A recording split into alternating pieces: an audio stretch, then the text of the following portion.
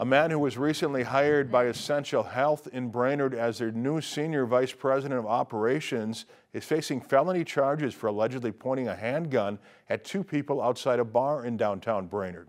41-year-old John Sperazza was charged today in Crow Wing County Court with felony second-degree assault with a dangerous weapon, serious felony second-degree assault with a dangerous weapon, and felony threats of violence with reckless disregard. According to the criminal complaint in the case, Sperazza was at Shep's Bar and had struck up a conversation with a group of four people.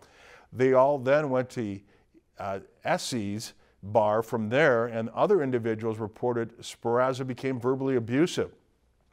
The criminal complaint says that later that night in the parking lot, Sperazza pointed a gun at two of the people in the group. Investigators say a review of surveillance cameras appears to corroborate the reports of the witnesses. Essentia Health announced the hiring of Sperazza as their new senior vice president of operations in a web post dated March 22nd of this year. According to that web post, Sperazza previously served as the senior vice president of operations for Essentia's West Market, representing areas in North Dakota and western Minnesota. Now, we reached out to Essentia Health tonight for comment and they released this statement that reads, we are aware of the situation involving John Sperazza. We're taking this situation very seriously. The allegations against John do not align with our mission and values. John has been placed on administrative leave. Other leaders have stepped forward to assume John's responsibilities.